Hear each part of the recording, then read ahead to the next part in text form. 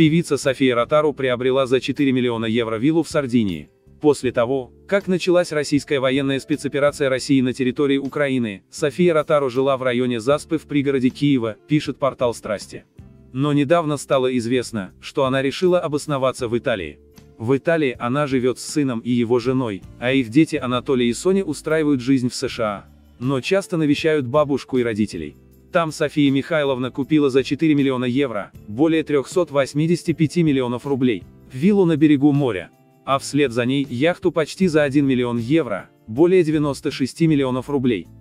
Их Ротару оформила на своего сына Руслана, утверждает источник.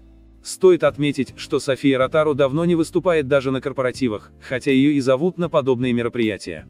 Так, за выступление на корпоративе в Дубае ей предлагали до 150 тысяч евро, но и от таких денег она отказалась.